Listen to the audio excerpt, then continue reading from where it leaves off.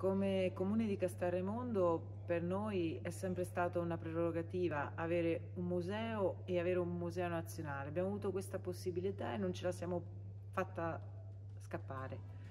Quindi abbiamo il Museo Nazionale del Costume Folcloristico a Castelremondo, un vanto per noi averlo qui in questa piccola cittadina, ma che ha saputo veramente valorizzare quello che l'associazione Fafit ci proponeva, un unico museo in tutta Italia, qui da noi.